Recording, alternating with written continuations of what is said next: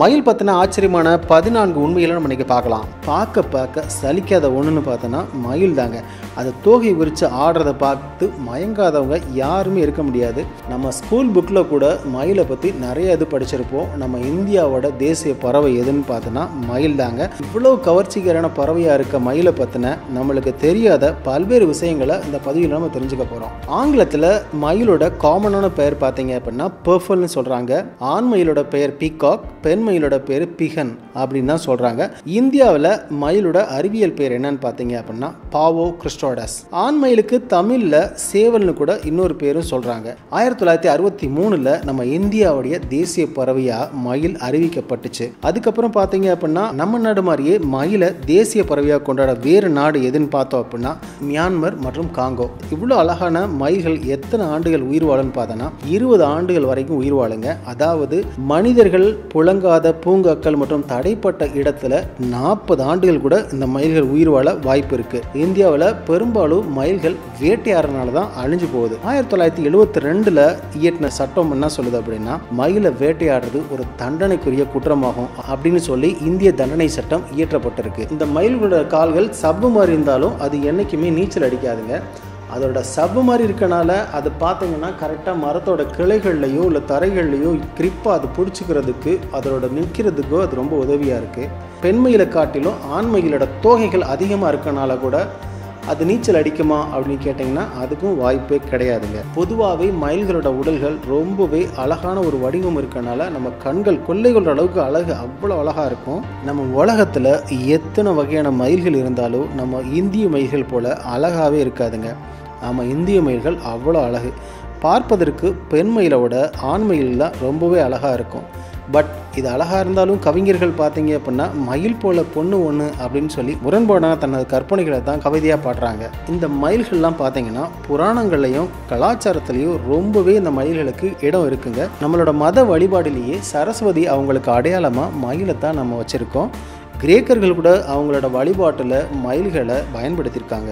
ரொம்பவே கலர்ஃபுல்லாக இருக்க ஒரு சில மயில்களை மட்டும் செலக்ட் பண்ணி கலப்பு முறையிலையும் மரபணு மாற்றம் செய்யப்பட்டும் நம்ம மனிதர்களால் ஒரு சில சமயம் மயில்கள் உருவாக்கப்படும் போது வர்ற நிறம் அப்படின்னு பார்த்தீங்கன்னா நம்மளுக்கு வெள்ளை மயில்கள் போன்றவை உருவாக காரணமாக இருக்குது அப்புறம் பார்த்தீங்கன்னா வெள்ளை நிற விலங்குகள் உருவாகிறதுக்கு அல்பனிசம் எனப்படும் மெலனின் நிறமி குறைபாடு தான் காரணம்.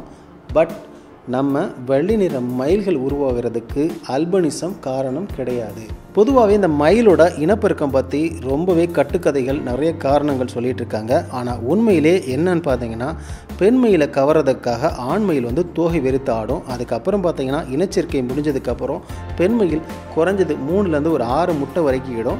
அதை அடகாத்து குஞ்சு பொறுத்து நம்ம கோழி மாதிரியே பெண் மயில் தான் அது குஞ்சுகளையே வளர்க்க ஆரம்பிக்கும். மயில் பார்த்தீங்க அப்படின்னா ஒரே ஒரு ஆண் மயிலோடைய வாழ்கிறது கிடையாது. அது இனச்சேர்க்கைக்கு ஒவ்வொரு தடவையும் ஒவ்வொரு ஆண்மயிலையும் நாடுது. அதே மாதிரி பார்த்தீங்கன்னா இனச்சேர்க்கை காலத்துலேயும் நிறைய ஆண்மயிலோட இனச்சேர்க்கை செய்கிறதுல ஒரே ஒரு ஆண்மையிலோட மட்டும்தான் இனச்சேர்க்கை செய்கிறது பிறந்த ஒரே நாளே ஆன மயில் குஞ்சு பார்த்தீங்கன்னா தாயோட உதவியின்றி தானே இறை எடுக்கவும் தண்ணி குடிக்கவும் தயாராக இருக்கும். மயில்கள் பார்த்தீங்கன்னா பதினோரு வித்தியாசமான ஒளிகளை எழுப்பும் ஆற்றல் கொண்டவ. அந்த ஒளிகள் பார்த்தீங்கன்னா மனிதர்களுக்கு ரொம்பவே எரிச்சல் கொடுக்கவே தான் இருக்கும். பொதுவாகவே மயில்கள் வந்து மலை வர்றதை அறிகுறியாக அது வந்து ஒளி எழுப்புறதை நம்ம பார்க்குறோம். நாய் எழுப்புற ஒளியை நம்ம எப்படி குடைத்தல் அப்படின்னு சொல்கிறோமோ அதே மாதிரி மயில் எழுப்புற ஒளியை நாம் அகவுதல் அப்படின்னு சொல்கிறோம் அதிகமான ஒரு ஒளி எழுப்பக்கூடிய பறவைகளில் மயிலும் ஒன்று சாதாரண காலங்களை விட மழை பெய்கிற காலங்களில் தான் மயில்கள் தன்னோட ஒளியை அதிகமாக எழுப்ப ஆரம்பிக்கும்.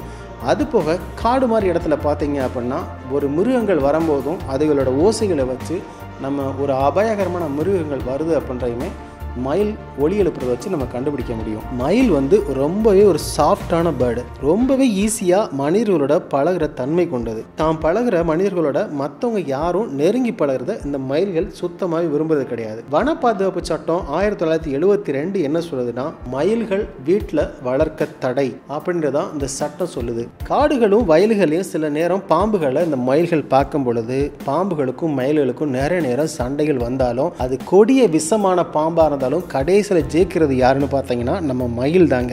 இந்த மயில்களை வீடுகளில் வளர்க்குறதுக்கு கண்டிப்பான முதல்ல அனுமதி கிடையாது.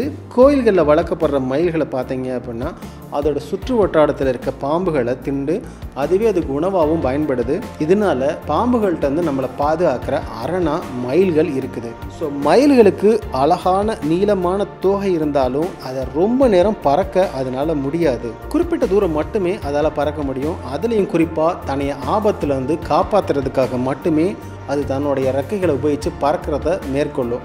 மற்றபடி அனாவசியமாக எக்காரணத்தை கொண்டு மயில்கள் பறக்க வாய்ப்பு கிடையாது. இந்த மயில்கள் பார்த்தீங்கன்னா தாவரம் விதை பூக்கள் எறும்புகள் தானியம் மற்றும் சின்ன பாம்புகள் தவளை வண்ணத்து பூச்சி எலி இது மாதிரி தாங்க அதோட மெயினான ஃபுட்டாகவே இருக்குது. இந்த மயில்கள்லாம் ஒரு பெரிய காடுகளில் வாழ்கிறது கிடையாது. ஒரு சின்ன சின்ன இடங்கள் சின்ன சின்ன மரங்கள் சின்ன சின்ன குமியிலாக இருக்கக்கூட புதர்கள் இதுகளில் தான் இந்த மயில்கள் ரொம்பவே விரும்பி வாழுது.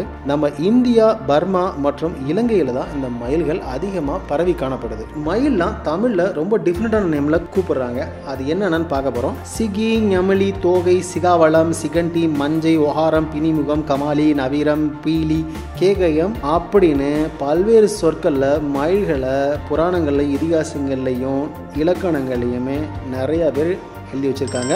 இதில் மயூரம்ன்றது மட்டும் சமஸ்கிருத சொல்லா நம்ம பார்க்குறோம் வேட்டையாடுறது மக்கள் தொகை பெருக்கம். இந்த மாதிரி காரணங்களால் மயில்கள் குறைந்து வருதுன்னே சொல்லலாம். இதை விட முக்கிய காரணம் என்னன்னு பார்த்தீங்க அப்படின்னா விவசாய நிலங்கள்லேருந்து தங்களோட தானியங்களை பாதுகாக்கிறதுக்காகவும் ஒரு சில பேர் இந்த மயில்களுக்கு விஷங்களை அதாவது குருண மருந்து மாறி விஷங்களை வைத்து கொள்கிற சூழ்நிலை ஏற்படுது. இந்த மாதிரி காரணங்களால் மயில்கள் பொதுவாகவே இந்தியாவில் ரொம்பவே கம்மியாகிட்டு வருது.